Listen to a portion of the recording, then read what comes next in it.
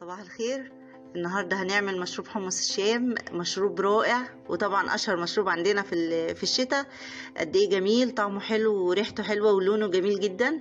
يا ريت تجربوه بالطريقة اللي هنعملها النهارده. أضمن وأحسن بكتير من أي حمص شام ممكن نشتريه من بره. في البداية هننقع الحمص يعني من أربع لخمس ساعات كده لحد ما الحبايه تنفش معانا وحجمها يزيد. بالظبط كده زي ما إحنا متعودين ننقع الفول أو أي بقوليات عندنا. بعد ما الحباية كده تزيد وتنفش هنغير لها المية ونحط لها مية نظيفه وهنحط عليها جزرتين متقطعين شرايح حوالي 3 4 طماطمات كده وحطيت عليها كمان 3 ورقات من اللورة نص معلقة من الفلفل الأسود ونص معلقة كمان من البابريكا وقطعت معاها ليمونة.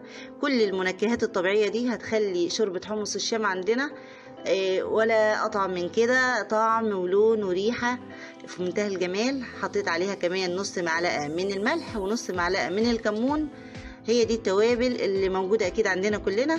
هنحطها في البداية قبل ما نبدأ نغلي الشوربة بتاعتنا أو حمص الشام. وهنحطه على نار عالية في البداية وبعد كده هنهدي عليه شوية ونسيبه يستوي براحته. إذا حسينا إن المية قلت عليه من وقت للتاني كده بنبص عليه. بنزوده مية سخنة يعني مج مية بمج مية كده لحد ما تحسوا إن الحباية استوت. لما تضغطوا عليها كده بايديكم تلاقوا الحباية بقت طرية يعني ينفع تتاكل. هياخد معانا بقى إيه ساعتين ثلاثة المهم في النهاية هتستوي معانا وهيبقى منظرها وشكلها رائع زي ما أنتم شايفين كده. ميتها جميلة جدا واللون طبيعي بدون أي بقى إضافات إحنا مش عارفينها ولا ضامنينها.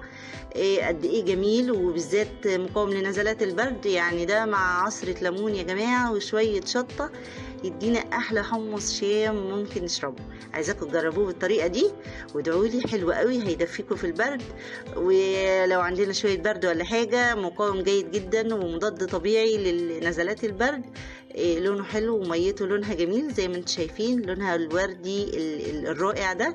بالهنا والشفا ليكم إن شاء الله لما تعملوها ونتقابل إن شاء الله في فيديو جديد على خير. استنوني ولو ليكم أي تعليق أو طلبات اكتبوها لي في الكومنت. نتقابل إن شاء الله قريب. في أمان الله. السلام عليكم.